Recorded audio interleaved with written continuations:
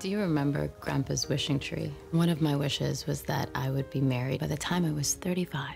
Sis, it is time to let that go. Mona Sinclair. What's better than a holiday romance? Mona! Hey! How about two?